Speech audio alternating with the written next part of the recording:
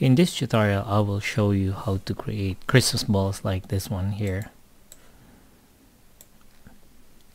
Now this is very simple to do in CorelDRAW. Uh, let's analyze the picture first. So basically this one, I'm just going to move that there. So that's transparency. And we also have, I'm just gonna click on this object here and move it, move it to the right? Side so that's also a transparency but I know that's gradient transparency. So to make an illusion that it has a shadow or shading okay? And this round thing is uh, we can use fisheye lens effect for that. Okay so now in order to recreate that I'm going to create a background first. So I'm going to create a rectangle okay I went here and then rectangle and then I'm going to make a, a fountain fill so I click on my fountain fill here. And let's say I'll start from this color here. Not going to make it exactly the same but I'll I'll will choose a different color. So that one not really quite. Okay so I'll click on this. Okay let's say that one and then here I'll make it 90 degrees so that it would be from top to bottom. And then I click OK. Okay. so I have this one now. Now I'm going to create the stars. Okay that's the complex star actually. So if you go here to complex star and then you click and drag okay now in here it's nine points. In the property bar here it says there it's nine points of the polygon. So I can increase that by okay, clicking on that icon there to go to have more points. And this one is the sharpness too. Okay. Okay so let's say I'm happy with this. Okay I'm happy with this uh, star. What I'll do here if I want to get just the silhouette of it okay I click on it and I go to effects and click on create boundary. So once you click create boundary you're gonna have two objects now. This is the boundary and this one is the star. So I can already delete that. Now I already have this one so I'll make it white. And I'll remove the outline by mouse click on this X icon here. Right mouse click and the outline is gone now what I'll do I will duplicate this one by by by hitting the plus on your keyboard. And now I have this here. I have two duplicates now. Plus on your keyboard or control D control D. And there I have the that row okay so I'm going to duplicate this again. So hold down uh, click on the plus sign your keyboard or control D and bring it down. Okay. But instead of bringing it down I would offset it a little bit like that. Okay.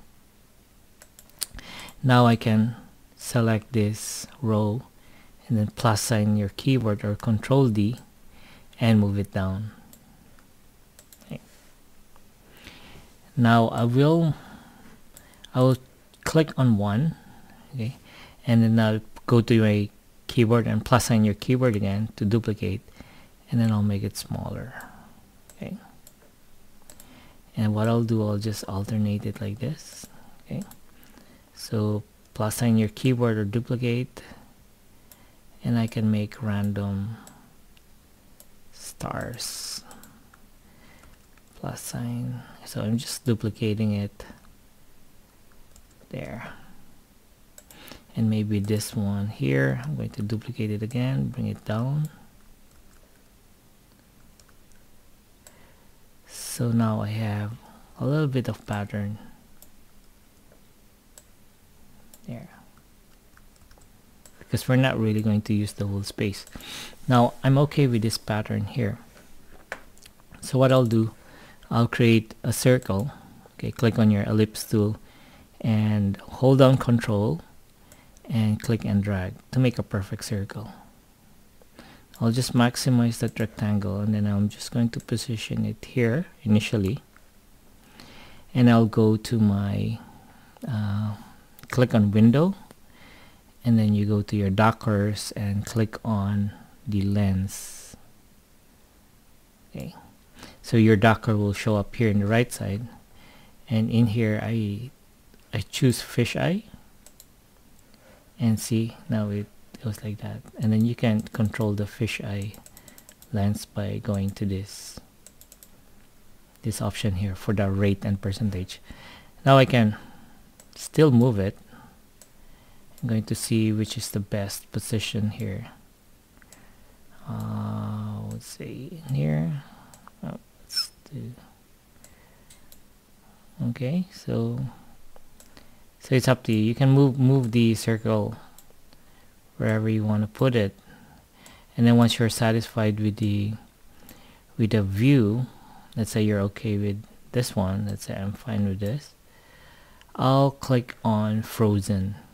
Okay so you click on frozen so that you have just that view and then you can move it out. Now you don't need this anymore so I can delete this and move this down here. Okay. so now you notice in the original here I'm just gonna size it down. I'm going to remove the outline by right, mouse click on this. Okay. now if you notice this one here yeah there's like a actually this one. Okay. So how do we do that? Um, so, so it's very simple. You click on your rectangular tool and then click and drag Okay. and then what you do is you convert this to curves first so you can edit the nodes.